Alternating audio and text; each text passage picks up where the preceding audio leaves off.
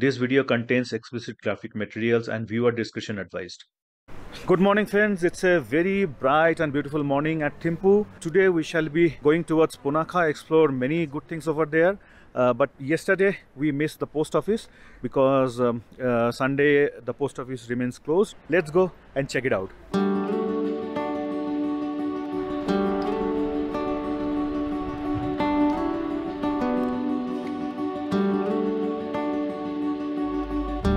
The videography was not allowed inside the galleries, but we could take pictures, and a guide explained about the postal service, Bhutanese stamps, etc. very well.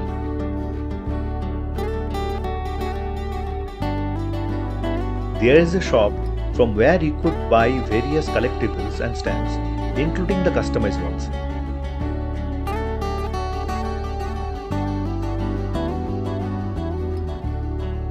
So if you are a philatelist, you already know uh, the Bhutanese stamps are very unique.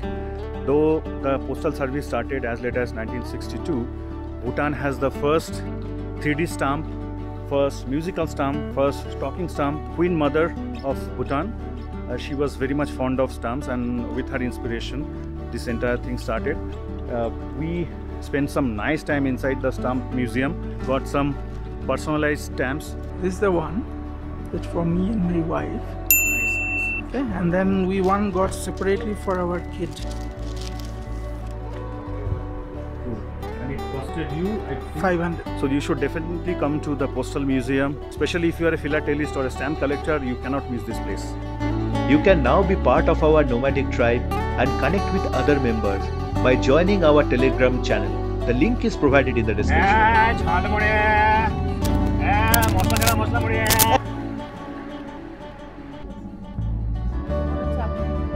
The journey between Thimphu and Punakha is wonderful, especially as it reaches towards the Dochula Pass.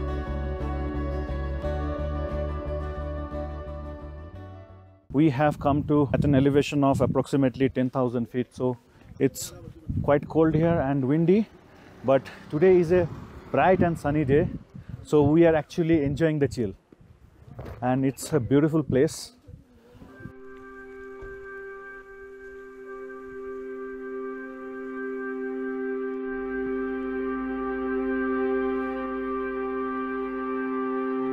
The name of this place is Dochula. So La is uh, it's a pass. This is the highest pass over like in between like Punakha and uh, Thimphu. Okay. And uh, the temples here, you know, like uh, you see all this 108 temples. Mhm. These are the main attraction for tourists. The whole initiative was taken care by our the royal grandmother.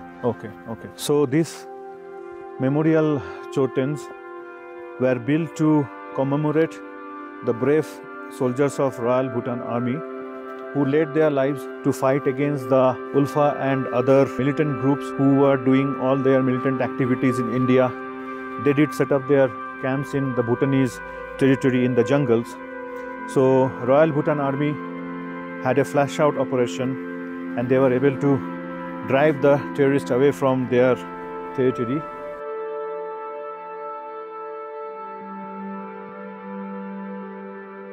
Do remember, this is a sacred site, so please maintain decorum and behave appropriately.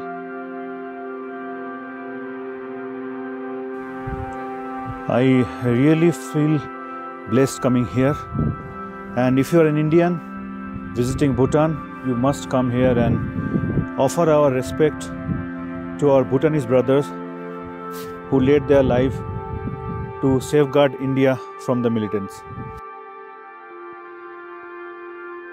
It's uh, literally freezing cold right here. I had to go down to get my gloves, otherwise, I was not feeling comfortable. Actually, we could see ice flakes on the grasses. This is very, very cold. Be prepared for that. It will be cold and windy, especially during the winter times. Unfortunately, there are clouds and mist cover. Otherwise, we could see the young Himalayan ranges with all snow-capped peaks over there. And there is a very famous restaurant overlooking the valley and the, the memorial Choten, but right now it is closed for renovation. Maybe we'll uh, try our luck while coming back. During our return journey, we got little bit of snowfall here, but that's the story for another episode.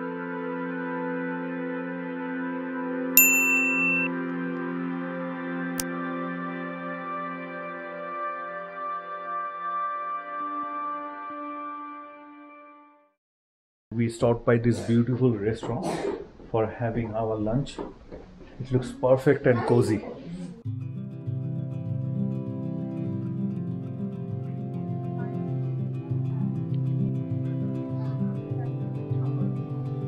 So, folks, we had a very good lunch at uh, Menchuna restaurant. So, if you are driving from Thimphu to Punakha, you can definitely come here. I shall put the GPS location in the description of the video. Blazed by two rivers, Pochu and Mochu, Punakha is a very fertile land and famous for rice cultivation. We could see a lot of agricultural lands as we approach Punakha.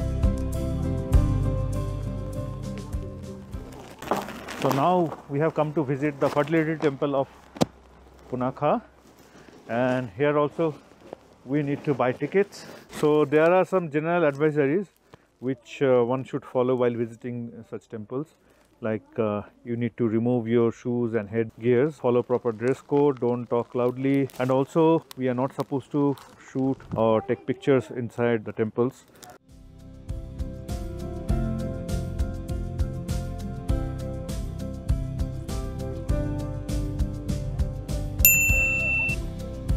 Earlier the vehicle had to be parked far away from the temple and the hike was longer but now there is some kind of motorable dirt road that leads to the parking lot here we need to have a short walk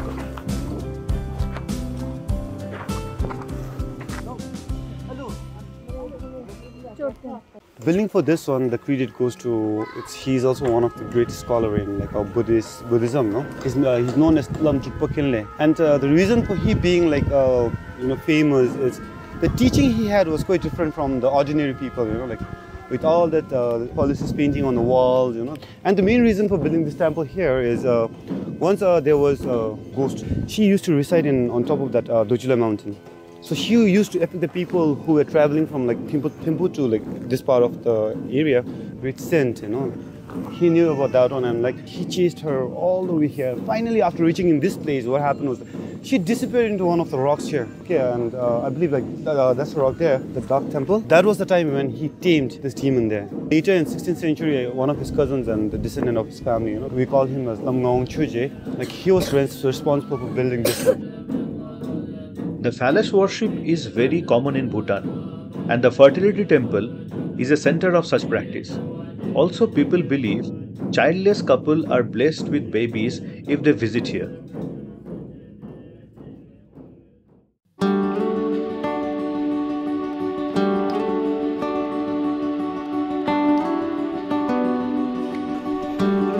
Tata, bye.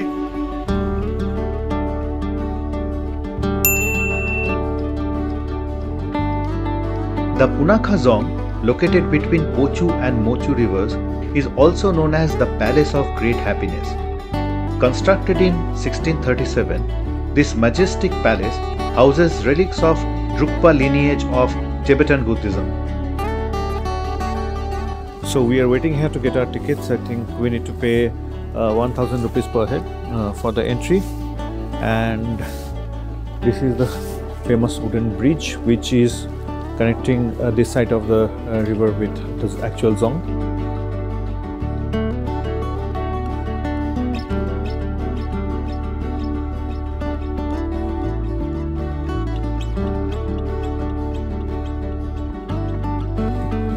Such a wonderful view. Amazing.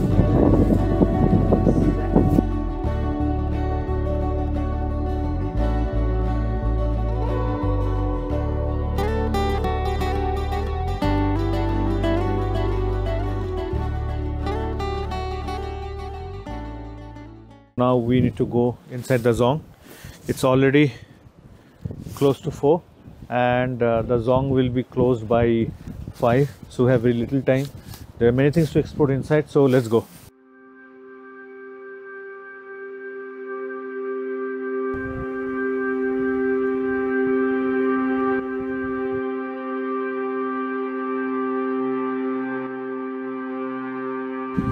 So we had to remove our head scarves, caps and everything.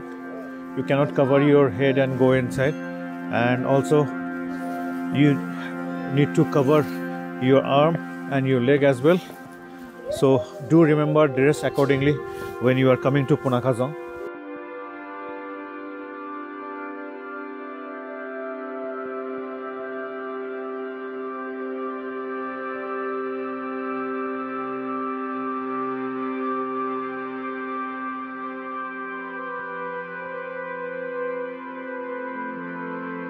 Punakha Dzong is the second oldest and the most majestic fortress of Bhutan. It continues to be winter home for the central monastic body.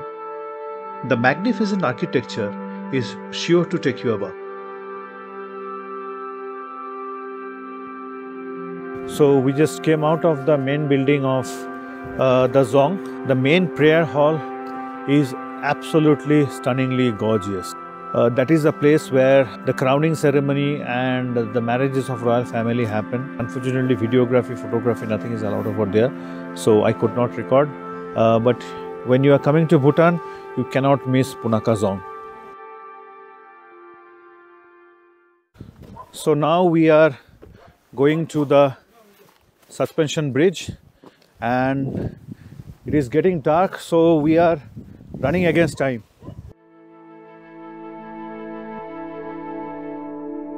Punakha Suspension Bridge over Pochu River is one of the oldest such bridge in the world. And with 520 feet length, it is the longest one in Bhutan.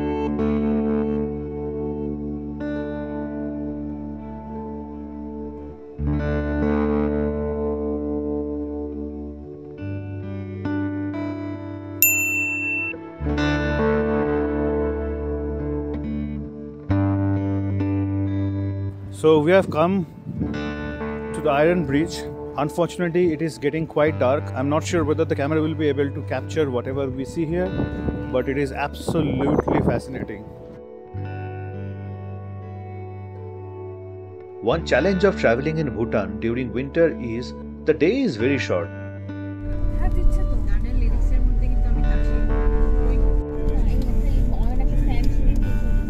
We just stopped here at the viewpoint to have the night view of Punakha Dzong, and it is stunning.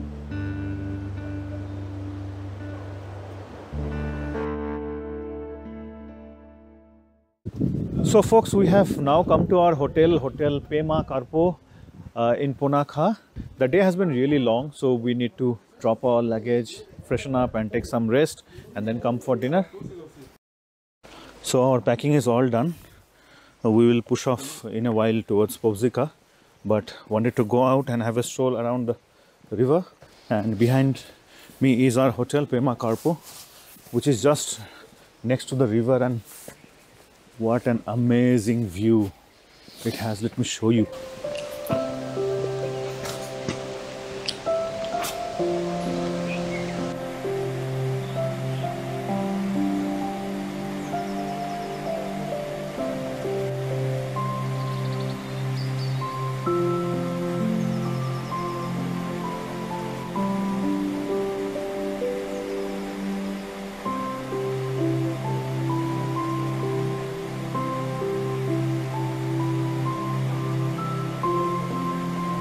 We spent some real blissful time by the river. And if you are staying at hotel pema karpo you just come out and just bang opposite to the entry gate you have these sitting arrangements. So next we are going to Phobjikha valley which is a little known place in bhutan uh, not seen by many tourists. I am ending the episode here. I hope you have enjoyed it. If so give it a like. Don't forget to comment and don't forget to subscribe to my channel and I hope you watch other videos of Bhutan travel series as well.